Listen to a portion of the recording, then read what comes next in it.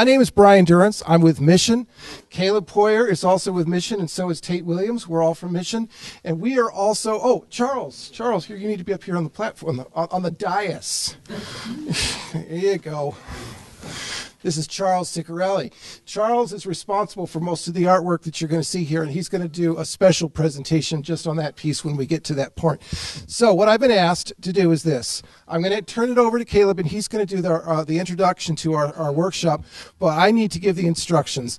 When you all ask questions, I have to literally hand this microphone over to you and you speak into it. You won't hear yourself on the PA, but you have to do it so that we can get it onto the thing. So it's going to be a little awkward, but it'll be all worth it when this uh, documentary comes out. So, with uh, without any further ado, ladies and gentlemen, I'm going to hand this over to Caleb Poyer, who is the founder of our tent community that started over on uh, behind Arborland in I think about 2008, and um, and then we're going to go from there. All right, take it away. Sure, Brian. Actually, I'm pr- always impressed when you do the um, the uh, emceeing, and I'm kind of think that you should do more of that. So I'm going to be uh, pushing the microphone your direction more frequently. For those of you guys um, who are new to this, we're going to do uh, just a, a, brief backstory. Um, Peggy, w- will you sit with us just because we'll have you talk at different points? Um,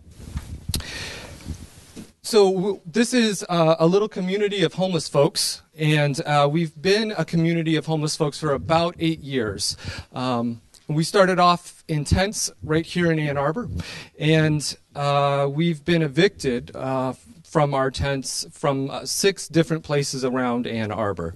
Um, and ultimately, uh, we coalesced into a nonprofit, and that nonprofit was gifted uh, an, by an anonymous donor with um, money to purchase land, um, and so now we own three acres. So the majority of our talk today, hopefully, is going to focus on what we're going to do with those three acres. Um, but so good to see you. Um, it I would like to uh, just give those who are a part of our earlier community, just to give context for where we are now, uh, a moment to talk about uh, what the what the tent city looked like uh, when we had it here in Ann Arbor. Now, it may not be that unique, uh, but I think the unique thing, I mean, to your eyes, uh, tent city. Um, but I think what's different is that uh, gatherings of homeless folks can be organized or uh, they can be just um, ad hoc. And the ad hoc organizations of homeless folks often is a little bit um, unwieldy. Um, so when you get an organized group of homeless folks, that's kind of a rare unicorn. Um, you don't see that very frequently across the United States. And uh, Tate, who's been with us uh, from the very beginning. I'm just hoping that you would tell us a little bit more about that tent city and the, perhaps uh, the pieces of it that you hope to bring over to our tiny house community slash uh, home for uh, tent folks. Hello, everyone. I'm Tate.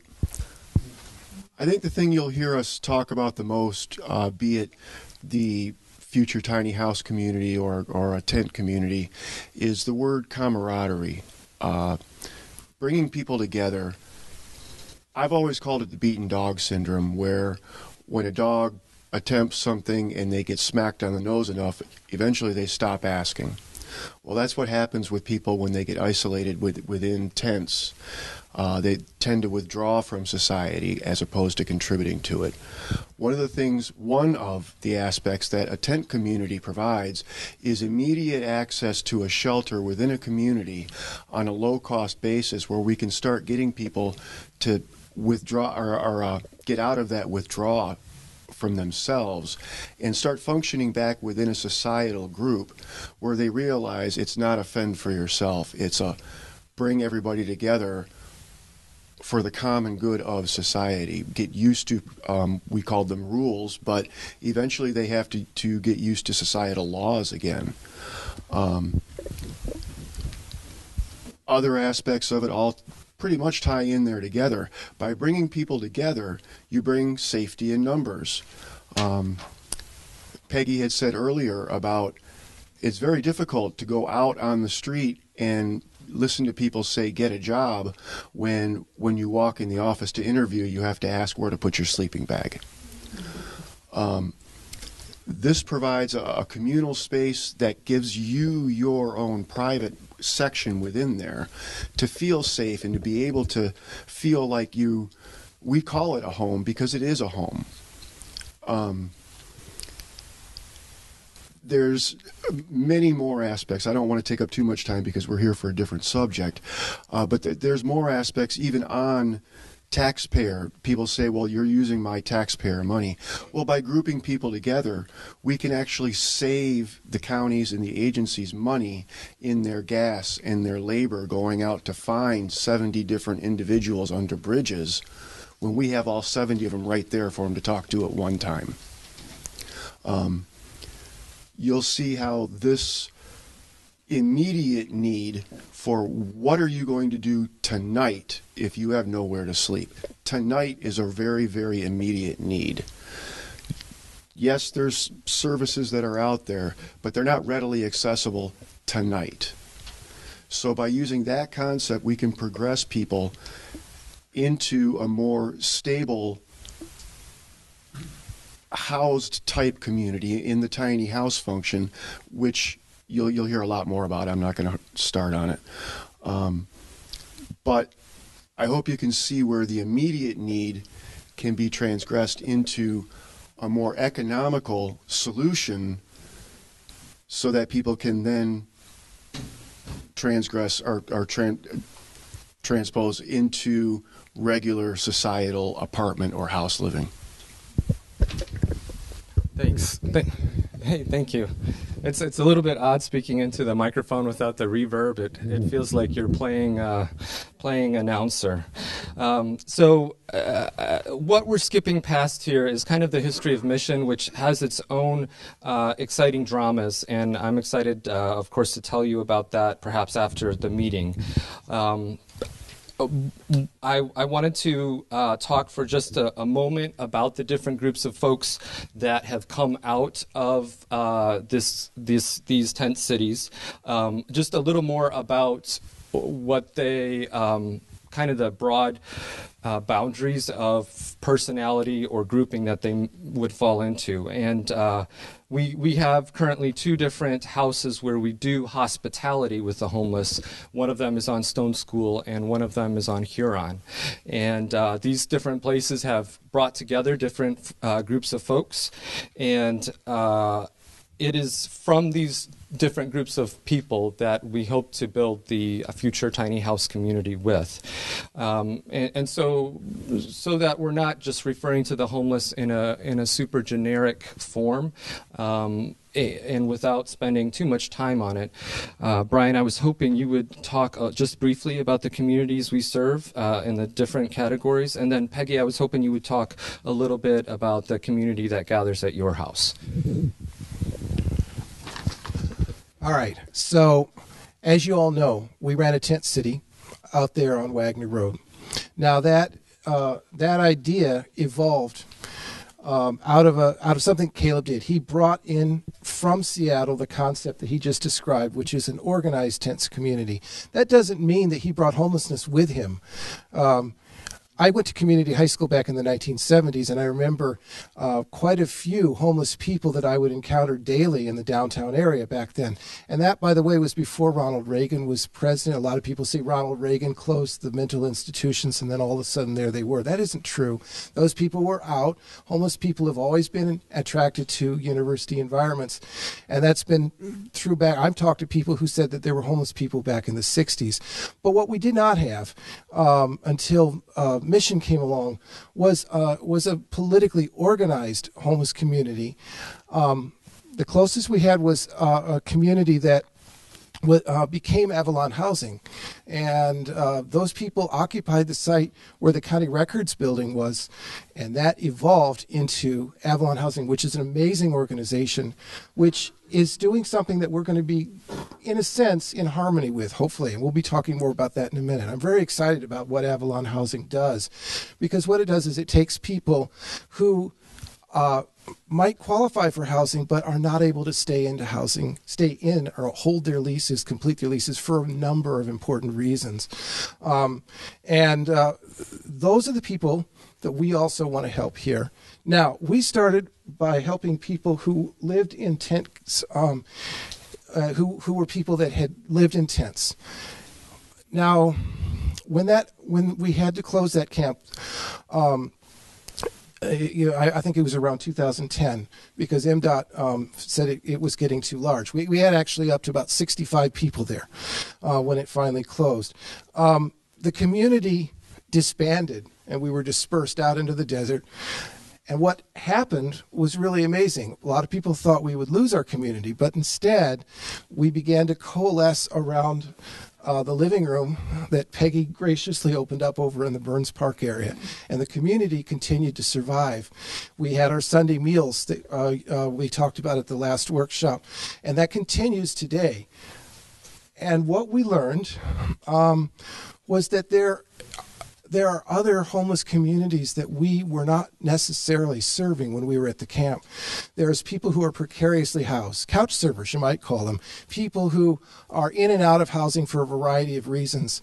There's also people who are housed but don't necessarily have enough money to do laundry and that kind of stuff. And then there's a, a new group which has uh, coalesced around the, the, the, house we now call Hill House after our former president, Jimmy Hill, uh, on 350, uh, 3501 Stone School Road.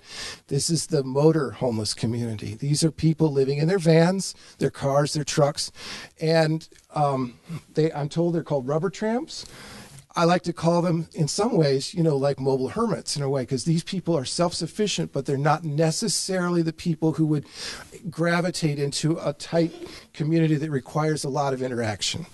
So each of these different communities, including the people who are in Avalon Housing and other organizations like Avalon Housing that provide housing, such as three quarter houses for people recovering from alcoholism and drug addictions, all these people are attracted to the community that is housed at on Stone School Road and also the uh, the Mercy House on on um, Huron. Thank you.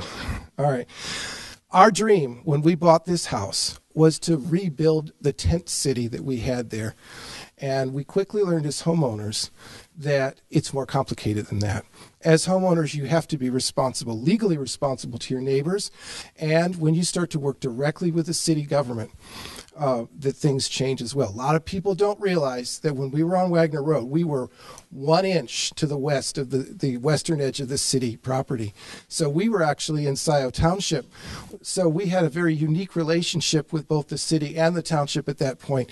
Now we're solidly within the city. We are tax-paying citizens, and um, so we have gone we're going through a process where we're going to work through all of the we're going to we're going to go through and we'll work with the city officials at all levels till we get to where we need to go. But that was the, the purpose of this part was just to describe the the four or five different communities that we're now serving.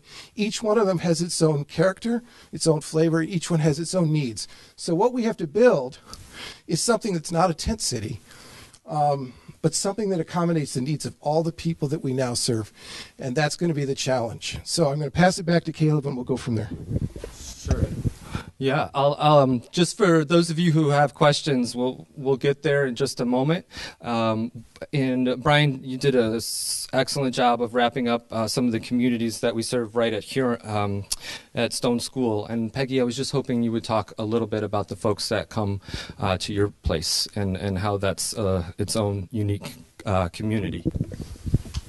Um, so Mercy House is at 805 West Huron. You're all welcome to visit. Um, Mercy House is a house of hospitality in the tradition of my personal hero, Dorothy Day. Um, it's in the tradition of Catholic worker houses, although we don't claim the name because we're um, much broader than that. Um, the um, the two houses of hospitality grew out of the eviction of um, the uh, Camp Take Notice community on Wagner Road. It it took me years to realize the power of the um, in the Christian tradition, the power of the dying seed. I, I just sobbed when Camp Take Notice was evicted because such beautiful things were happening there. But out of it grew some amazingly beautiful things.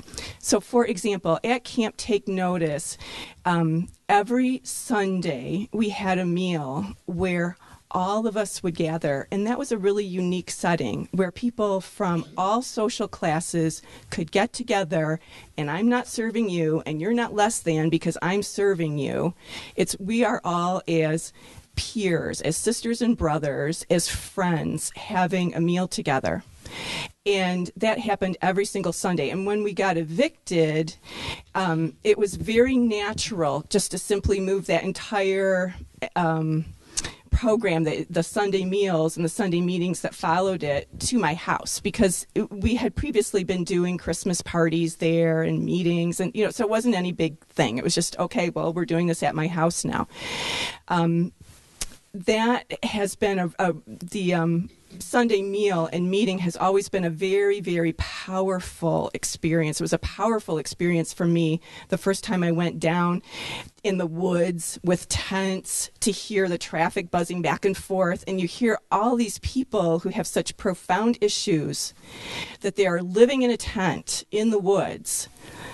And it, it re inspired my um, love for democracy because all of these broken people, and by the way, you know, I include myself in the group just as broken, making what ended up to be very wise, compassionate decisions about some really important stuff, like who gets to stay here and who doesn't and these were these were wrenching decisions that were made pursuant to the Roberts Rules of Order in the tent, you know, in this tent community. It was amazing to watch it, and it was amazing to watch the wise and balanced and just outcomes of these decisions and the votes that were required by these Roberts Rules of Order. So it was that event, that meal where we all get together as peers and then we sort through the really hard shit of life through this method of the Roberts Rules of Order that moved to moved to our house. And now we have two houses, and the houses are really intending to be responsive to the needs on the ground as we perceive them. So it, when when you live outside, it can be very very difficult to find a place to wash your clothes, and not being able to take a lawn, uh, to do laundry or take a shower is let me just tell you dehumanizing because if you smell bad and if your clothes look raggedy, you are not accepted in this society. You are just not. And you are not going to find a job. And you are not going to be allowed to sit at Starbucks for a few hours like the rest of us are allowed to do. You are, you are going to be moved on. Um, so finding a place to take a shower and do laundry, the privacy to do that. And by the way, you know, if, if all of your belongings or you're carrying them on your back, you might not have a set of clothes to change into so that you can wash the ones you're wearing. So we have extra clothes at both houses to allow for that. And just because people in the winter, they need winter coats and socks. I mean, socks are practically, um, uh, you, you need a pair of new pair of socks every time the ones you're wearing get wet. So they're semi disposable, as are sleeping bags. We're going to need them again in the spring because all the winter warming sh- shelters, which are life critical in Ann Arbor, are going to be closing down. And all those people that are sleeping at the churches and sleeping on the floor at Delonis are going to be sleeping outside or in their cars, and they're going to need sleeping bags. And that happens every spring. And I can tell you right now, we are going to need dozens and dozens of sleeping bags. So the house on Huron is intentionally very close to the main shelter in town, which is you know really fabulous, beautiful thing. And every Saturday we get together for breakfast. We have a huge breakfast, like 60 people, and we are intentionally we are welcoming guests to our home. So, what that means for us in my Christian t- tradition, what I am in my heart doing is welcoming Jesus to my home. And so, what that drives an entirely different approach to having folks in your home for breakfast. Things are beautiful. Things are, um, we take a lot of care and um, our Zen Buddhist friends are uh, really wonderful because they donate produce that we couldn't otherwise afford.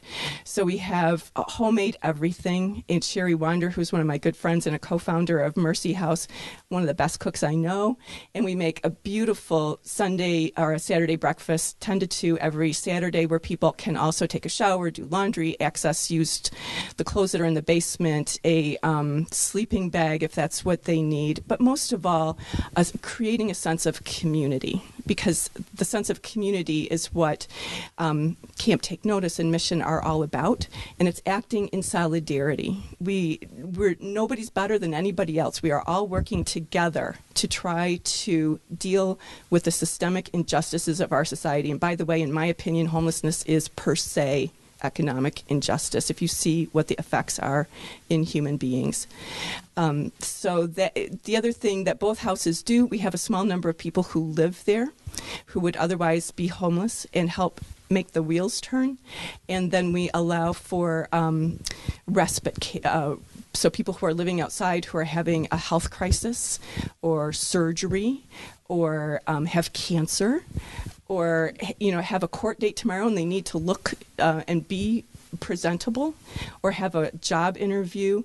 We have um, couches available for that type of respite care at both uh, respite stays for um, short-term stays at both houses. So is that what you wanted? Yeah, that's great. Thank you. Uh, so i just wanted to build this backdrop, backdrop uh, upon which uh, we hope to uh, use this group of people um, and and with uh, uh kind of together uh, achieve a tiny house community. Um, and the there's a lot of um, there's a lot of uh, challenging issues in a tiny house community um, that have to be worked out. And I would say I've been trying to wrap my brain around them for the last year and a half uh, with the rest of uh, the mission board. Um, and so uh, I guess what I wanted to share with you is that uh, as we share our vision of the tiny house community, this is coming with an asterisk. Um, and that, that asterisk is uh, we have big, big dreams. Um, and and what we're getting ready to do is attempt to move those big dreams through the process of uh, city approval. Um, so that's um, that's going to be a, that's the challenge that's ahead of us here, and and likely uh, the reason that we'll be uh, needing your support will be related to uh, gaining approval through the city process. So, with that asterisk, um, I would like somebody who has been sketching out um, some uh, beta versions of what our community could be um, uh, to describe some of the slides, which I'll be showing. And this is Charles Ciccarelli. Am I saying that correct? Um, and uh, uh, Charles is uh, known in Ann Arbor for drawing um, incredibly detailed pictures of architecture that are sold uh, around town, and you can find his work uh, sold uh, even at Briarwood. Um, so, to our great surprise, he decided that he was fond of what we were doing, and he has been mocking things up. We we kind of gesticulate and and and and put words out, and um, uh, Charles has been turning them into pictures. So, uh, Charles, I'm going to hold uh, some of these pictures up, um, and then I'm going to pass them around with the hopes that uh, people can look at them more closely. And you guys will be able to see them as I hold them up here, but uh, it's a little bit too small to appreciate, so I'll just pass it, and you guys will be in the constant process of passing these uh, slides around. Um, Charles, go ahead and stand up, and I'll start uh, with your conversation about what could be our. Um, I'll, I'll go ahead and move those for you if you just want to be talking with the microphone. Okay.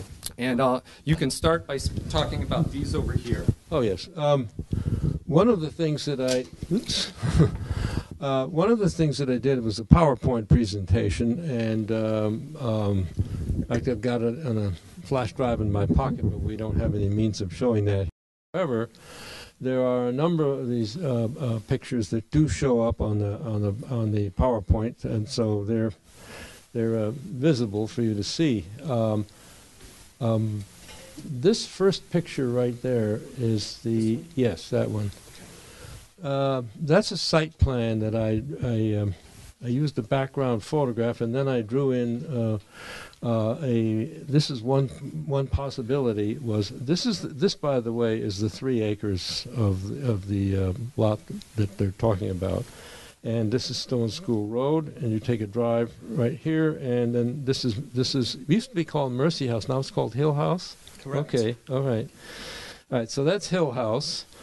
And uh, this this assumes that a build bridge is built across here. That hasn't been done yet. There's a small walk bridge there, but uh, uh, this this this is a um, um, an automobile or vehicle vehicle uh, drive.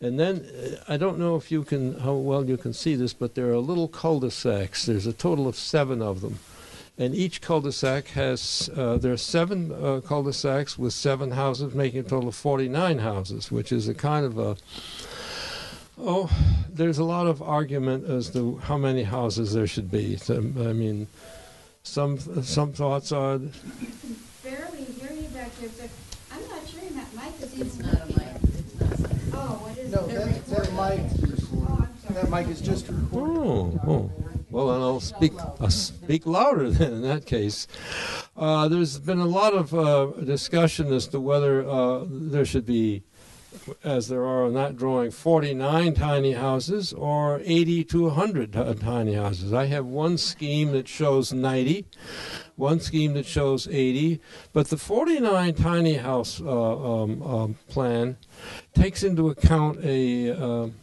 a, a um, local ordinance that if you if you do not build tiny houses uh, so that they're sort of super fire retardant, that you have to space them 10 feet apart.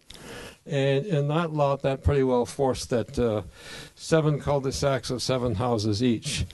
And this also, uh, this concept also assumes that there's going to be a commons building in the middle. Um, these tiny houses are about 10 by 12 feet in uh, um, uh, their, their dimensions, and um, you you go in and you have this little room, and there's a ladder that goes to a loft, and that's for, where the bed is. So uh, it's uh, it's it's ideal for housing one person.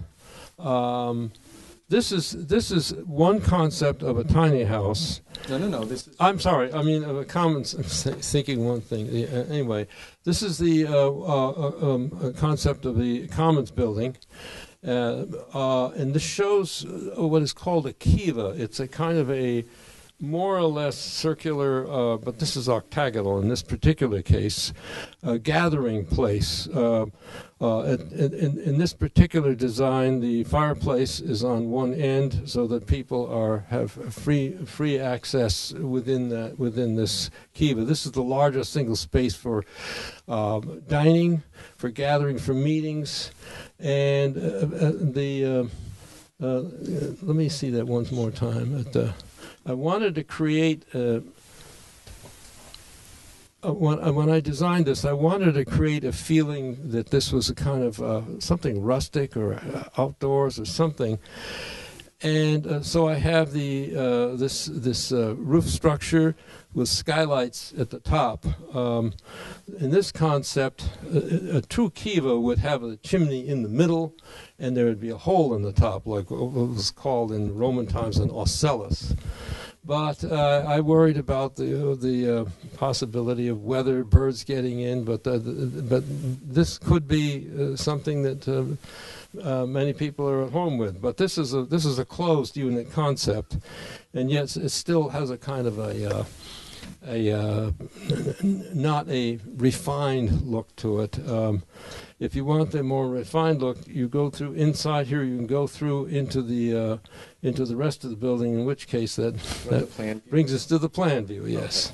Okay. Here's the kiva, and you go through here, and this takes you into the. the there's a big kitchen here in the center, and uh, bathrooms. There are uh, in this particular design there are four showers, and four baths, and. Um, uh, two sinks uh, and uh, heating units so that when um, people who live in these little tiny houses will not have toilets. They want to, um, yeah.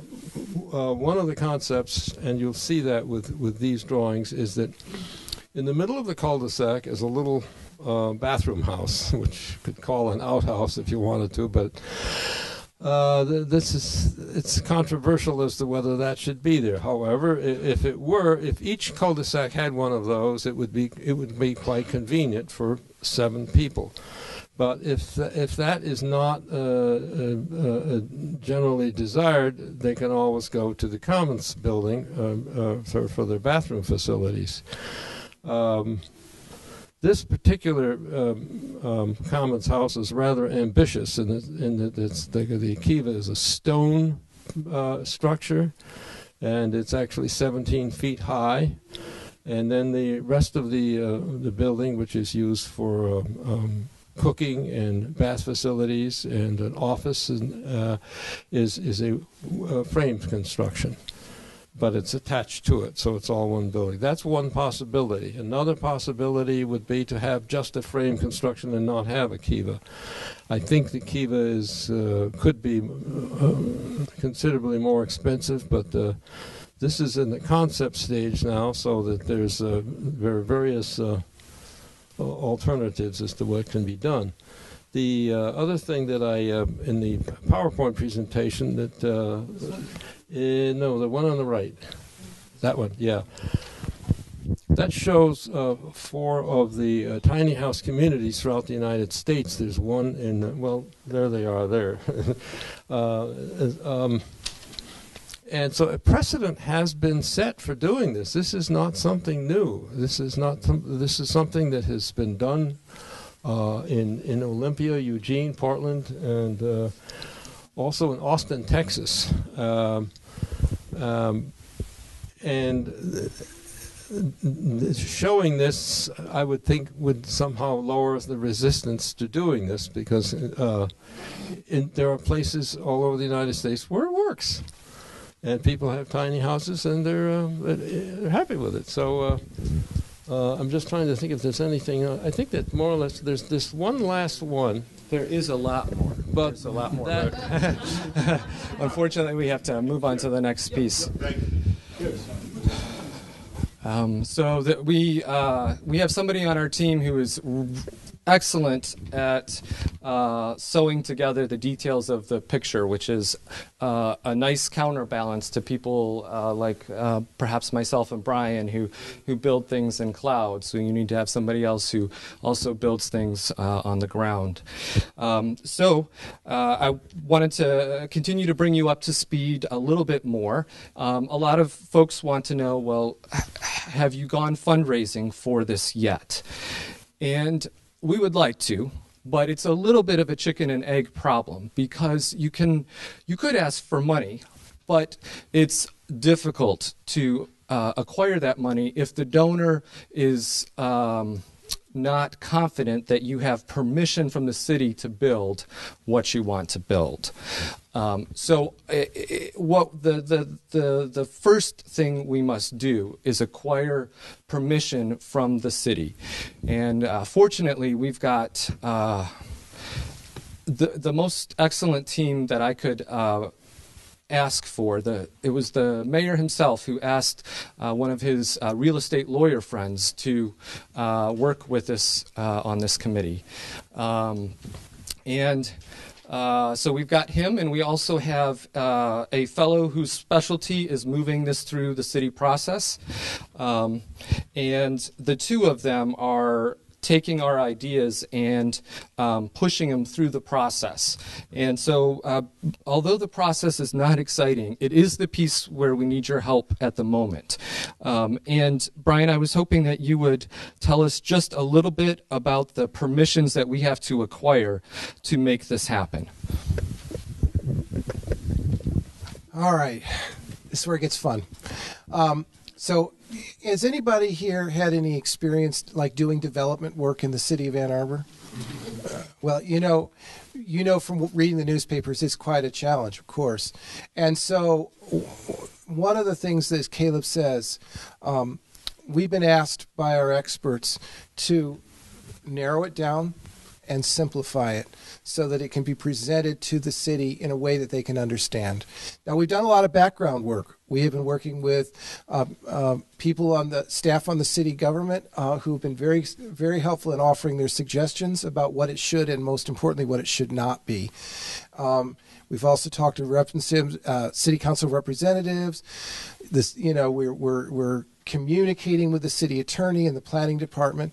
This all is is uh, part of a process that uh, has been designated to our uh, organization's PUD committee, which stands for Planned Urban or Planned Unit Development. I'm very sorry, um, which is essentially is a a very elaborate variance to city zoning organization or city zoning codes.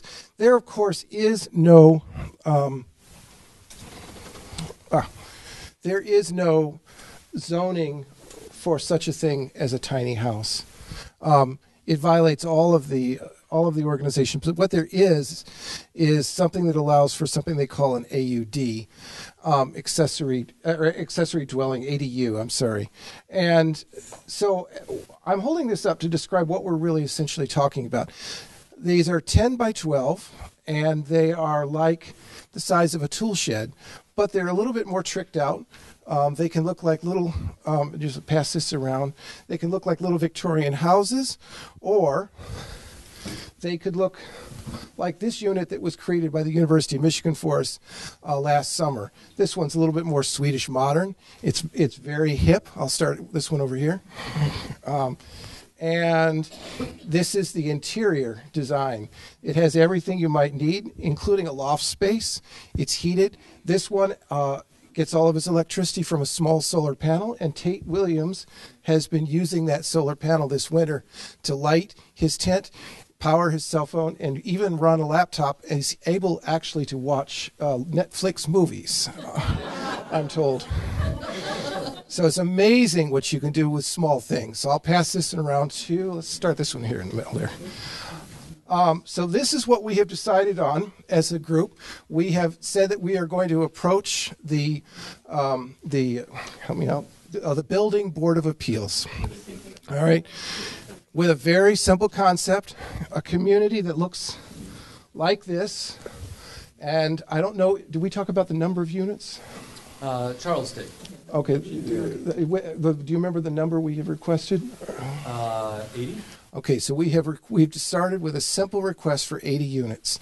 Uh, this one shows for if this hasn't already been passed around, I'll pass that around as well. And we're hoping to get their response back. All right. So ask right now. We're asking for uh, units that have no electricity, that sit on concrete slabs but are not uh, permanently affixed. They're not on wheels. They're not heated except for uh, small propane heaters similar to the ones that you'd find in actual tents.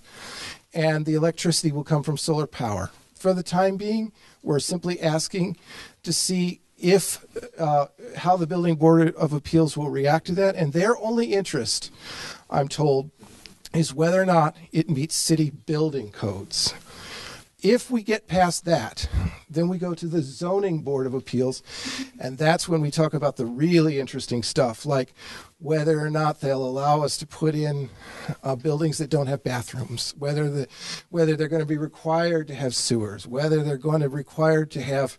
Where's where's Charles's um, I don't know if you noticed this cool thing about Charles Community Center building. It's set up on stilts over a pond. The reason he did that was because we were told that we might be required to put a retaining pond in, as you see in, in a lot of businesses now with cattails and reeds and things like that. And so we draw it, we drew it that way. It's inspired by the library, the the uh, the branch library up behind the Target over there um, on the on that end of town. Brilliant Charles. yeah, absolutely brilliant. So anyway, um, we have there's a lot we can say about this, but we're we're waiting we're waiting for the response from the city. That's the first step, and then we we have a series of steps that'll follow. And what I'd like to do is save all those other details for the question and answer period because I know you're going to have lots, and I see we have some experts in the room here, which we might be able to uh, get some answers from as well. Um, all right, so I'm going to pass this back to Caleb, and we'll go from there. Sure. So I think we'll we'll carve out maybe uh, three minutes at the end to briefly talk about uh, some ways to plug in, but I'd like to jump right to questions right now for those of you that have them. Yeah, go for it. And I'm going to give you the microphone. Where should I? Should I? or- okay. Okay. so, children. Are we assuming no children would be living with these families? And and and the second question is, when you're talking about needing um, sleeping bags, how do people help with that? Uh, so the sleeping bags is, is a wonderful uh, question because we uh, that that tends to be the mainstay of the good deed, deed that we do regularly, which is help folks get warm when they're sleeping, um, and those can be taken either to 3501 Stone School Road or to 805 West Huron. Um, and I'm, I'm pointing at Peggy because uh, 805 is her house. So either of those two locations, and uh, we just uh, we, will uh, make sure they get to the right homeless folks from there. So, uh, right now the answer is no kids. Um, there are there have been uh, tent communities that have formed and allowed kids um, in Seattle, um, but it's it's uh, it's not common. Um, yes, there's definitely a need for families, uh, space for families, and we're uh, would like to see more uh, complete and thorough accommodation if you're a, a family member. So uh, there's definitely here in Ann Arbor some excellent ways to uh, plug into helping uh, fund and um, support the, the family end of things. Uh, typically, our group is our single folks without um, without friendships and families, and and one of the reason I'm fond of this this odd structure where you have tiny houses close to each other and a community building where the kitchen is, is because the greatest poverty, um, I, in my opinion, is not so much that of uh, money, but it's that of relationships. And I fell in love with democratic, uh, self-managed tent communities because of that um, accidental uh, dynamic of of meeting folks that are uh, turn out to be your friends and fill fill in the quasi uh, sister, quasi brother, um, you know, my my caring, uh, you know, stepmom, and so that is uh, something that's one of the reasons that's one of the things we're attempting to uh, deal with is a lot of times a, a homeless person will move into a uh, an apartment but they won't connect to people to either side of them. And we're hoping to create an environment where those connections are frequent and inevitable. Uh, go ahead with another hand if yes please bob. Yeah, I see from your drawing that on one side of Mallet Creek looks like uh, a floodplain. And I know that the city has also done a lot of work along Stone School Road and the bridge over there by near Ellsworth. I wonder what effect that work and the floodplain would have on your uh, planned development. I am so glad you asked the question about the floodplain. All right, now, do we have one of those drawings? Okay. Um, let's hold that one up, Will. All right. Yes, hold them both. No, no, no, that one right there. Nick, That's the one. All right, now if you'll notice, um, so them both up the same way. So the houses are on the right. Okay, now if you'll notice in this drawing, I guess they're the same actually. You'll notice the the blue area is the floodplain. We actually paid an engineering firm. It's the same firm that the uh, the city used when they were doing the engineering work for the Stone School renovation, Stone School Road renovations. They're really great guys. They came out and scouted this out. The area on the east side of the creek, which is where the houses are, um, is above the floodplain pretty much the rest of the yard is in the floodplain, um, which means that we're going to have to make some mod. We're going to have to when we if we were to put a bridge across, we'd have to w- work through several different levels of government, including the DEQ. You've all heard of the DEQ from Flint, the same DEQ. Um, so we'll be working with a lot of different people as we make these decisions, but we absolutely know that this area here is above the floodplain. So we're about two minutes from closing, and uh, we've got two hands. Um, and I'm going to ask you to go because I saw your hand first. Go ahead. Just a question about physical accessibility. Notice all the lofts are upstairs. As we become older and physically infirm, what are we dealing with that? I agree with you. I, uh, that's something we haven't uh, drawn into our program yet, but I hope that we do uh, before it's over, which is um, a good percentage of the units handicap accessible.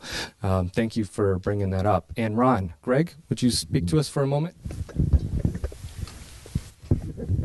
So we've almost reached the uh, end of this session. Um, I hope you have some specific uh, asks for people and some contact information.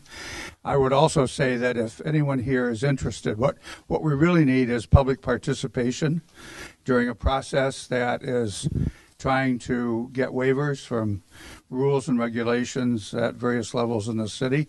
So if any of you are interested in advocacy, um, you can contact Mission, but also you can contact ICPJ, which is involved with this. And um, uh, I don't know whether there's printed contact information. Is It's on the back. Uh, uh, email is on the back. Yours, uh, the boards, the entire boards.